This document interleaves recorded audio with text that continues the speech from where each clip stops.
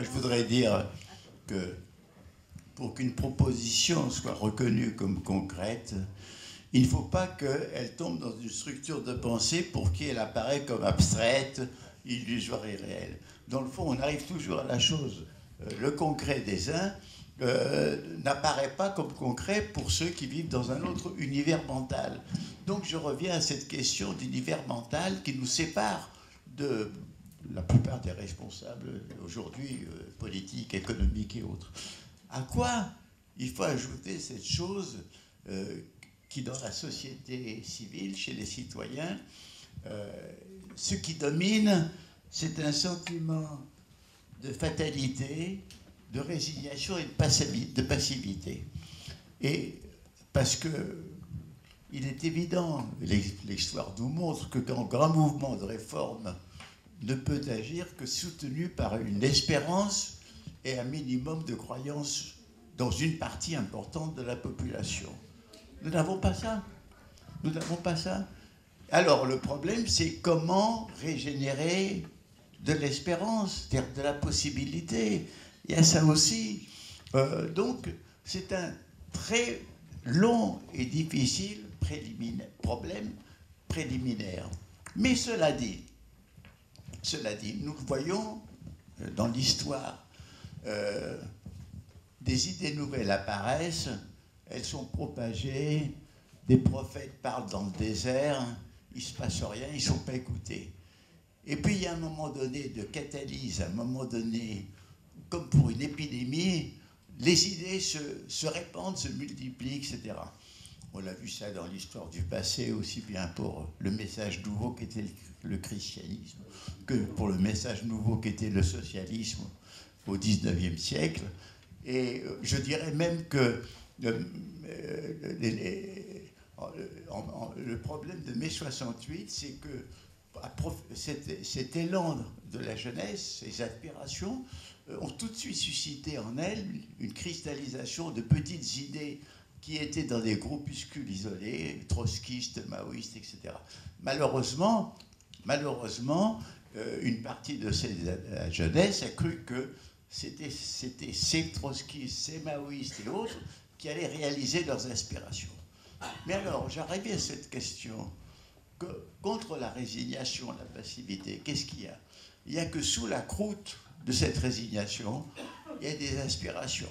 Il y a des aspirations qui dorment, euh, mais qui se réveillent dans l'histoire. Elles se réveillent chez la jeunesse tunisienne il y a deux ans, elles se réveillent euh, dans les grands moments historiques d'espoir, de soulèvement. Euh, et ces, aspirations, elles sont très bien connues. Plus de communauté, plus d'autonomie, plus de liberté, liées à la fois, en somme, la fraternité et la liberté individuelle. Donc, ces aspirations qui dorment, de même que Rocard a très bien dit, euh, pour que pour lui les grands moments de sa vie, ce pas des moments où, il y a eu des, des, euh, des satisfactions monétaires, c'est des moments où il a eu des, des, moments d'amour et de réalisation. Nous savons tous que ce qui est important dans la vie, euh, c'est l'amitié, c'est l'amour, c'est la convivialité. Mais tout ça dort, dort, et recouvert par la résignation, par la passivité. Donc, il faut secouer, c'est le problème de la secousse. Mais il faut se rendre compte aussi qu'on est obligé de passer par une période où le message ne germe pas. Hein, euh, on est comme des arbres qui semont des, des, spores, des germes que le vent emporte. Euh, elles germent ici et là de façon dispersée dans la société civile, mais il ne se crée pas une synergie, il ne se crée pas une force.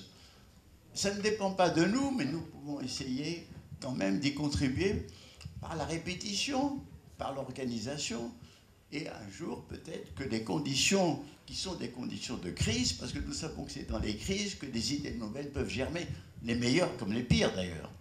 Parce que nous, nous ferons, nous savons aussi que le pire va venir, les pires idées vont se développer en même temps que les nôtres.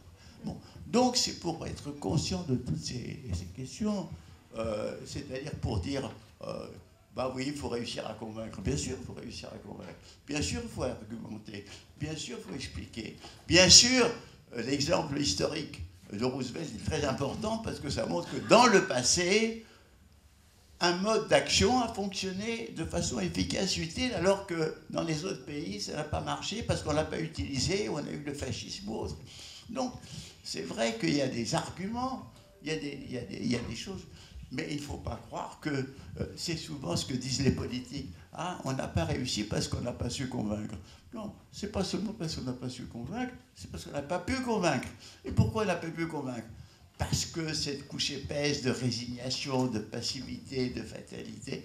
Et là, cette absence d'espérance qui couvre en dessous mais qui ne se réalise pas, voilà, voilà le grand problème.